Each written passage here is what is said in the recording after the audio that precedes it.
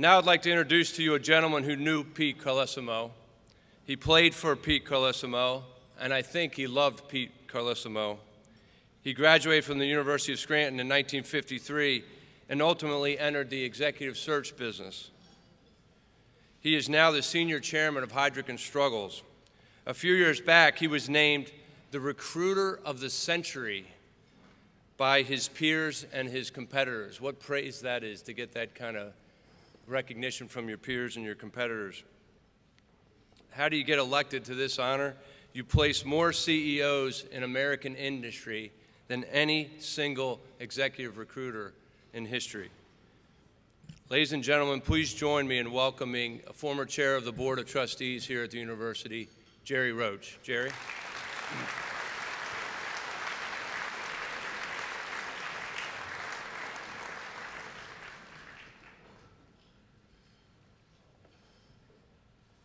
This, uh, thank you, Pat. This thing about uh, executive recruiter of the century, I don't think there's that much to it. Century's only 11 years old. Uh, Pat, with all his due diligence, neglected to uh, mention two of my achievements that I'm very, very proud of. Uh, I happen to be the only graduate of the University of Scranton who suited up for four years of varsity football, and I still have four years of eligibility left.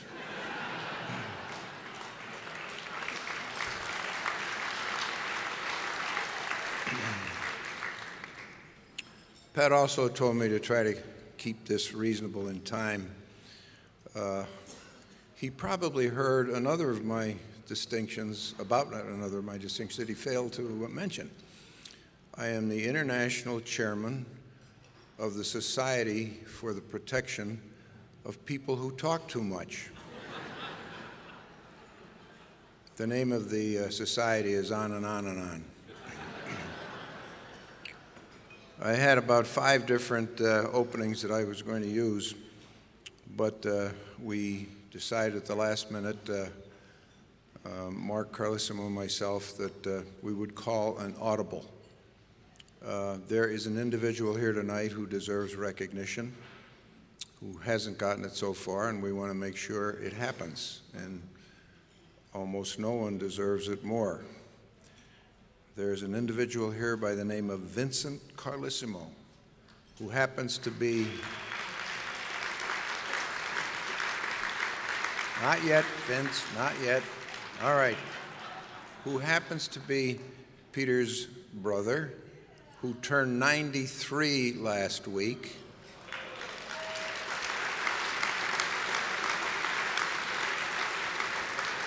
And who was All American when he played for Villanova. Now, cue Vince, VJ. Vince. Yo.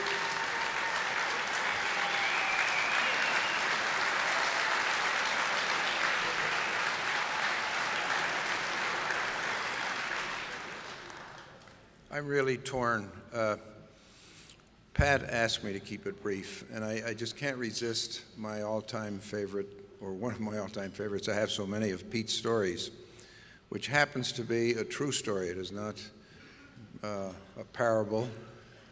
Uh, the Letterman's banquet in 1953 uh, was held at the Hotel Casey.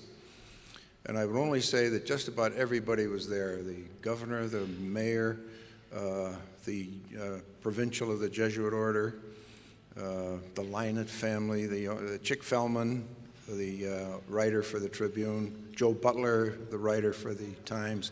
I mean, it was an awesome group, not unlike this one. And it was to celebrate the great year that the uh, we, we had almost, if it weren't for the Marines at Quantico, uh, we had almost a perfect year. Uh, now, we also had two very, very good quarterbacks a guy named Bill Bartley, a nice Irish boy from Dunmore, and uh, Mike DeNoia, nice Italian boy from, from uh, Carlesimo's village down in uh, Newark.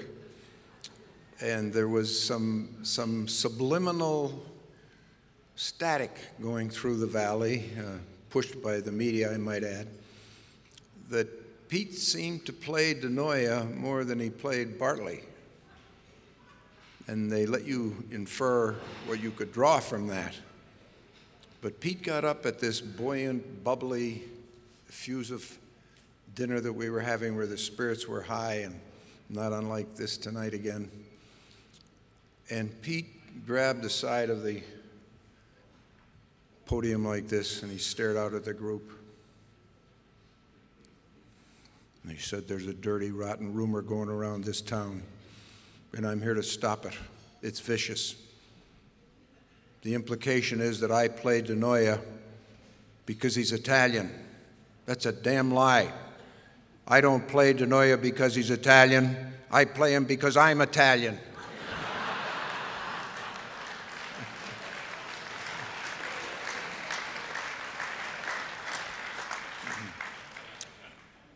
Father, Parr, uh, Father Pilarz, respected members of the clergy, fellow alumni, teammates, uh, fellow members of the university family, and especially the uh, Carlesimo family. I cannot begin to tell you the honor and the feeling that I have within me tonight. Uh, I, am, I am just thrilled at it all. I, uh,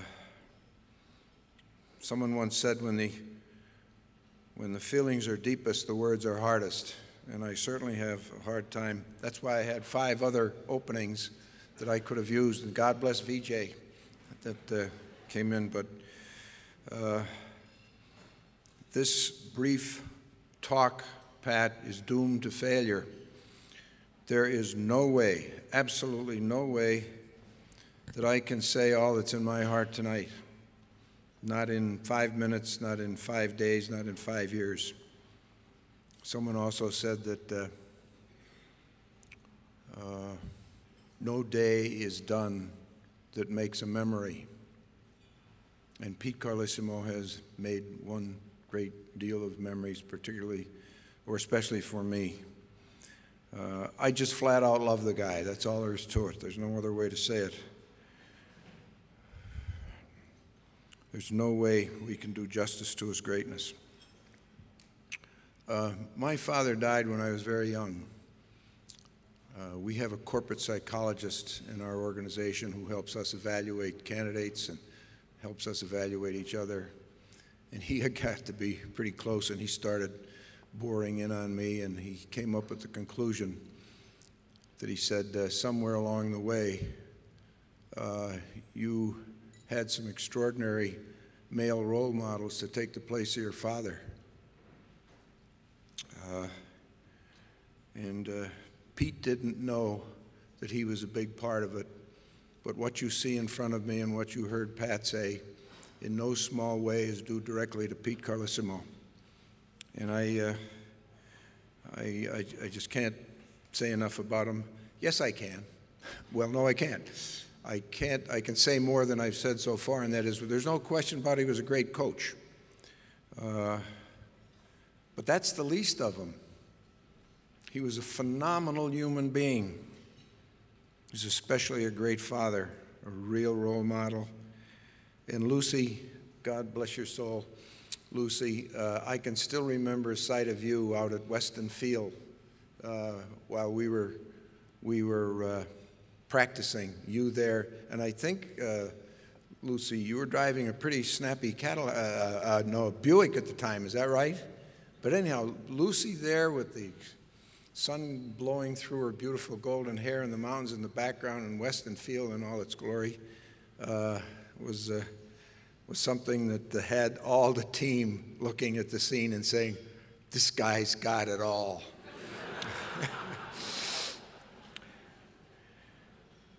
But the coach was primarily not a coach, not to me especially, but coaching was not his prime claim to fame, claim to whatever. The coach was a teacher. And in my book, the noblest word in the English language is teacher. And you, and that includes a lot of you here tonight who are into teaching, you know that you touch eternity. The people you teach teach people who teach people who teach people. And it goes on through generations, and you never know where it's all going to wash up on what shore. And uh, I would only say that, uh, that Pete, being a teacher, uh, he didn't teach me how to play baseball, or uh, football, I'm sorry. He didn't teach me how to play baseball either. But uh, he, uh, he didn't teach me how to play football. This is what the Jesuits would call, as Father Pilarz knows, he was confronted with invincible ignorance. Uh, I did my best, but uh, uh, he didn't uh, teach me how to make a living. He taught me how to make a full life.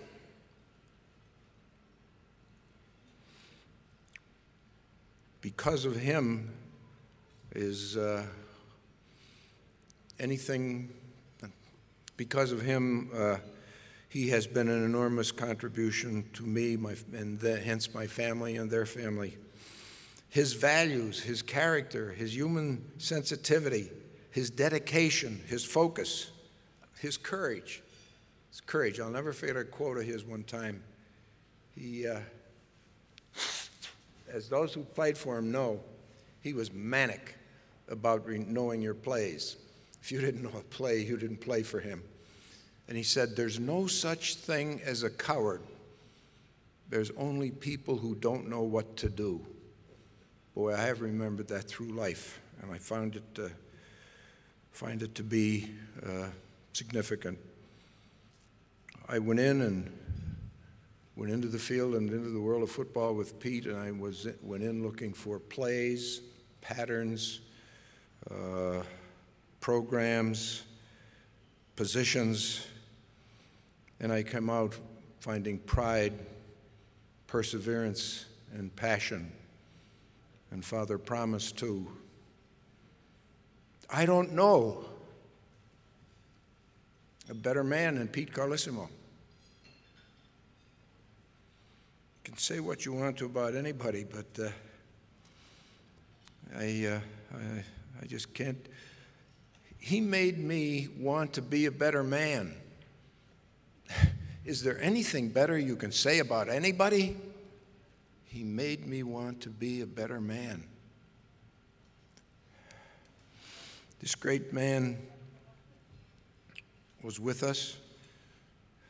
And thank you, Lucy, Lucy for sharing him with, with us and sharing your family with us and being part of one big family. And I want to thank you for Pete being with us tonight, and he sure is. Wise man has said that uh, uh, if you live in the if you live in the world of the Lord, you'll never see each other for the last time. And boy, I sure look forward to seeing Pete again and know that I will. And I want to thank him for all he's done for everybody the school, the sport world, the eternity that he's touched, and especially what he's done for this kid from Washburn Street. Okay, let's get out there and give them all we got.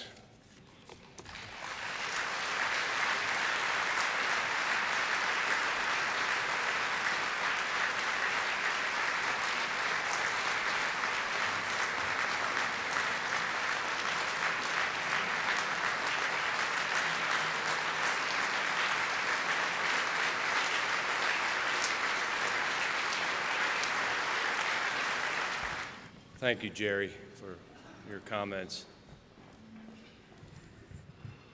It's amazing to, for, it's amazing to me to hear the recruiter of the century say that our honoree tonight was the best man that you ever met. That, that is uh, incredible. Thank you.